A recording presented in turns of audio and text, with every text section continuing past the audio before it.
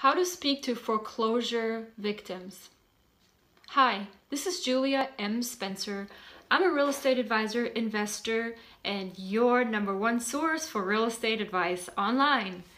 Now, don't take my word for it. Go to my website today. It's at the bottom of this video, juliamspencer.com. Don't forget the M in the middle.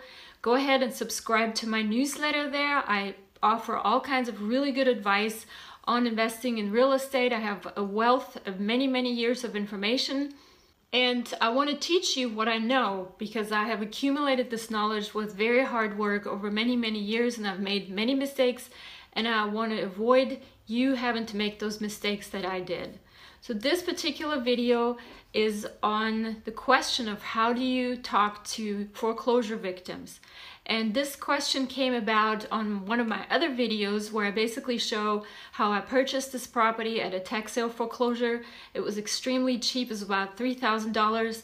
And um, I basically purchased the property and just talk about blah, blah, blah, everything about this property. And one of the subscribers and, and people that watch my YouTube videos actually asked me, won't the owner be angry when you talk to them? And how do you handle that? So here I want to give you some of my um, first-hand experience. I'm really actually glad that I get questions like this because this is the kind of stuff that is not written down in any kind of formal audiobooks or courses.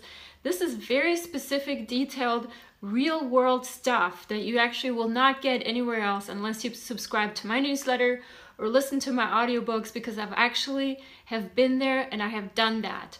And I have the t-shirt to prove it even, if you want to almost say that. But uh, my YouTube videos all focus on real world stuff stuff that I've really done. You can go on my Facebook page, you can go on Twitter, you can go on Link to get to see my resume, and you can talk to other people that have purchased my audiobooks, and you can purchase them yourself and make up your own opinion on how I have dealt with problems like this and similar problems like this. So this particular subscriber asked if the original owner isn't going to be mad that I bought their house for very cheap. Now from experience in all the tax sale foreclosures that I've ever bought, I've actually always tried to desperately find the owner. A lot of times the owner is missing um, or the owner has died, unfortunately and um, people, descendants of the um, person that used to own the property um, are not interested in it. They, um, they usually the properties are in in need of repair and need of maintenance and there's also outstanding tax bills beyond what the place has been auctioned for and fees. So a lot of times these are properties that are actually deserted and it's amazingly so but people don't want to put the effort in advertising them or trying to put them up for sale and going through all that process because um, they just don't want to deal with it. For example i had um, one piece of property that i purchased from a person who had over 40 rental properties in that particular town 40 that's four zero now two-thirds of those were in such bad shape that they're actually almost close to um, not being repairable. They're probably condemned by the city or by the county and had to be torn down. So for the um, descendants of this particular person who died, uh, this was a huge, huge burden. I mean, they really just didn't even, it would have cost them money to just even advertise them for sale. They just want to be rid of it. They sign a paper saying that they decline their inheritance and all the liens and debt that come with it and they basically just walk away. And these properties are a lot of times are in no man's land. Now, the one time that I did actually meet with a lady that was about to or has lost her house, and I was in, in very good um, talks with her. She was um, very emotional about losing the property. It's been in her family for many, many years since she was a little child. And she really just wanted to sell the property and everybody that she's talked to gave her really lowball offers and she just felt like she was an elderly lady and she felt like her mother who was the one that purchased the property back in the day and has maintained it and has kept it in the family all these years, she felt that um, her mother deserved a little bit more than what she was being offered for the property. And so she was holding on to it she was actually periodically driving there and just sitting on the porch and crying, you know, thinking of her mother. And she said to me, "Is like Julia, if you can sell this property." And just give me at least this amount and yes you know I'll sign a quit claim deed. We don't have to do the whole process of barring somebody's redemption rights because I'm not going to try to redeem it or anything like that. I just want to settle my debt on the taxes and I want to honor my deceased mother the grandmother obviously with at least some sort of money. So in that case what we actually did is I found a buyer. Um, she um, sold the property to that buyer and she paid me off. So I, I stepped out of that equation and um, basically just made the money on the on the premium, the 20% premium here in Georgia, the on the lien. And she was able to sell the property and get exactly the amount that she wanted to have. So she was happy, the new buyer was happy, and I was happy. I felt like I did a good deed. So the original owners I've you know whenever I try to reach them they're not reachable or not interested or don't care about it or else they're just there isn't any so so far I've not had to deal with any angry owners and I take that back actually one time when I purchased the property, I got a call from one of the descendants of this lady who had died that owned the property. And I believe it was her son possibly, or maybe a grandson. And he called me maybe like two days after the auction and he seemed very excited and upset. And he basically said, Julia, please, um, uh, why did you buy my property? I want my property back.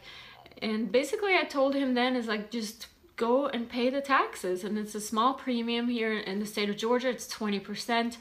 Most credit cards have higher interest rates than that. So um, just redeem it. You have a whole year to do so and I will wait. There's nothing I can do to your property while I'm waiting. And let me know if you want it back. You can have it back. And a third time when I spoke to a different set of owners of a property that I purchased the situation was such that the property was owned by a um, mom and dad. The dad died, then the mother died, and then there was children. And all the children were adult children. There's four of them, I believe, and they basically all joined jointly owned this property. Now the problem with that was that nobody felt that they're responsible to maintain it and they were just using it. So sometimes this person would stay there, sometimes this person would stay there. And there was really only one, one sibling out of the four and her son who are the ones that really, really wanted to keep the property in, in the family and actually really I mean, they really worked hard to get the money together to redeem the property, and they redeemed the property on the last day. And they were very grateful that I was working with them, that I was waiting for them, that I had no problems with them redeeming it, that I explained the process to them, that I wasn't going to screw them over or anything. And they were also grateful that I actually purchased the property without anybody bidding against me, which that's a big thing because if you buy a tax sale foreclosure and it's maybe $10,000 and somebody comes in and bids over that amount, that's where we get into overage investing, which is a different topic.